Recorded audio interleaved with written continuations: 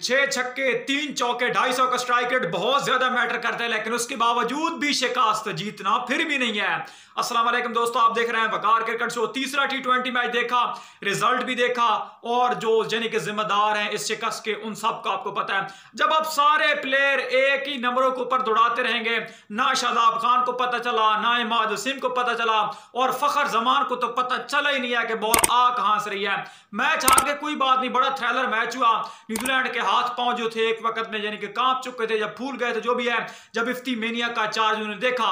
लेकिन यहाँ पर सबसे बड़ा सवाल यह है कि पाकिस्तान क्यों हारा? मोहम्मद रिजवान बाबर आज़म को टीम के ठेकेदार नहीं है कि हर मैच के अंदर जी परफॉर्म करेंगे तो पाकिस्तान जीतेगा।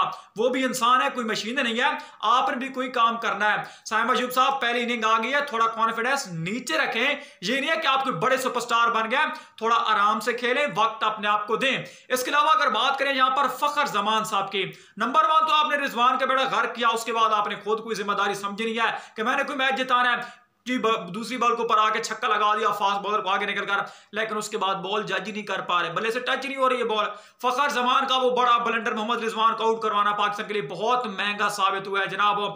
और इसके अलावा, शादाब खान आ रहे हैं, जनाब। कोई पता नहीं है इमाद वसीम आ रहे हैं, कोई पता नहीं है इतनी बेतुकी किस्म की शॉटें लगा दी कि मैच का बेड़ा घर कर दिया।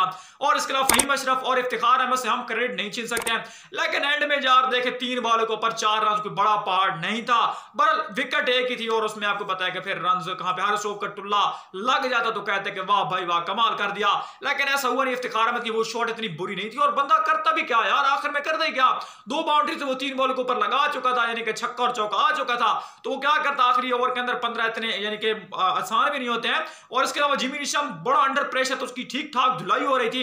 इफ्तार अहमद खड़ा तो गेम लेकर चला जाता।